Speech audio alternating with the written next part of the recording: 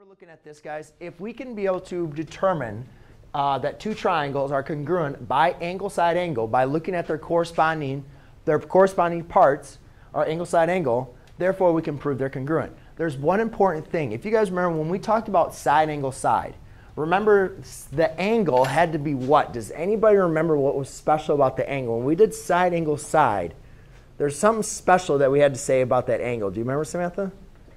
Philip, do you remember? Rhymes with pincluded. Included. Included. And does anybody remember what included? Asia, do you remember what the included side meant? No? Kaylee, do you remember? Berta. No. Jessica? Okay. So let's go and talk about this real quick. Guys, if I gave you, let's talk about uh, side angle side. All right?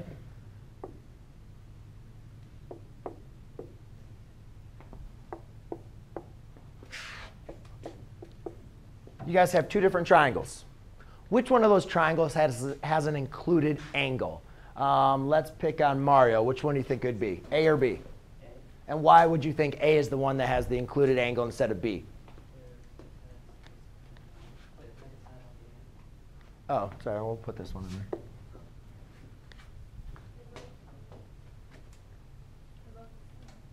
Huh? Which one has the included angle? Sierra, you want to maybe give a guess? There's something we talked about in the definition of included angles. Any idea? You can just pick one. You think it's A. Okay, Mario thinks it A. Yes? Whoa, whoa, whoa. Okay, I'll give you a shot.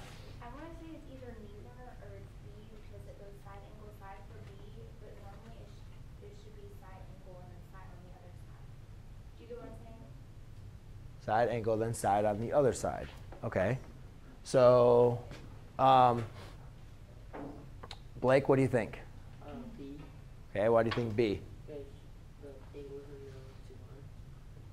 Because the angle is in between the two lines. And if you guys go back through your definition that we wrote down on this, if you go back on your definition, the angle is B. Because for it to be an included angle, the angle it's all right. It's okay. You're not going to remember it unless you try to unless you try to get it pick it out, right? Because now you said it and you said it wrong, right? Which is good. It's okay because guess what? Now you're going to remember internally be like, "Oh yeah, remember the angle has to be in between the two sides." That's when we know it's as an included angle. But that's for side angle side. For angle side angle, guess what has to be included? The side. So do you guys see how my side is in between my two angles? That's how you can prove that it's congruent by angle side angle. Okay?